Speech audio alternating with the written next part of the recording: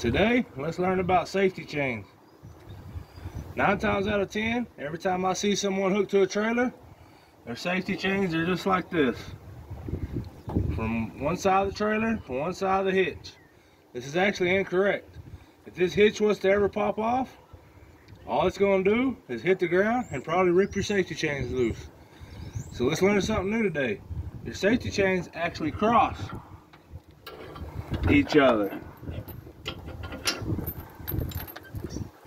Cross your chains.